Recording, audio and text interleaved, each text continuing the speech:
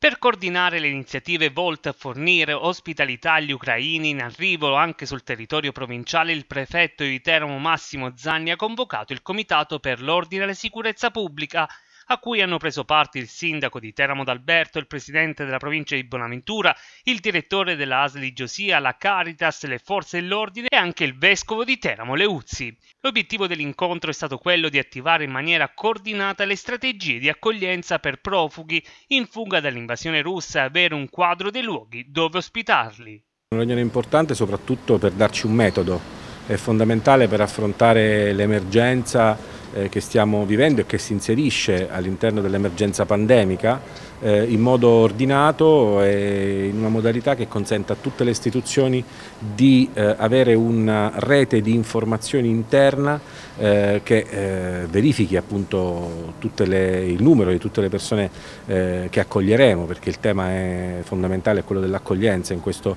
questo momento, un'accoglienza eh, ordinata e per poter dare anche delle informazioni e delle comunicazioni unitarie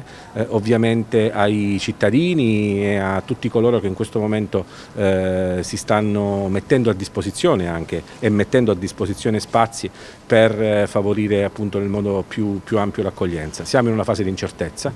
ancora, ovviamente sia sulla durata del conflitto che tutti vogliamo cessi subito, ma anche sul numero delle persone che, dovrà, che, dovremo, che dovremo, accogliere. Ecco perché io ho chiesto che ci sia assolutamente una, una, rete, una rete sinergica con il coordinamento della prefettura, ringrazio il prefetto, con la presenza dell'ASL perché c'è un tema sanitario importante. Domani come Presidente ANCI parteciperò al tavolo convocato dal Presidente della Regione Abruzzo, che è il commissario delegato per l'emergenza, che dovrà sicuramente dare delle linee guida che tutti i sindaci poi saranno chiamati a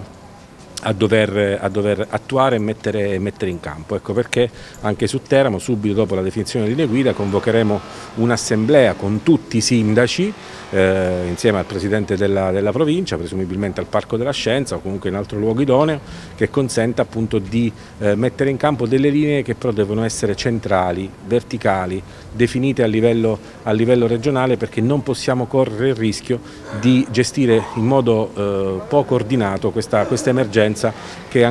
che resa ancora più complessa, come dicevo prima, dal, dall'emergenza sanitaria in corso.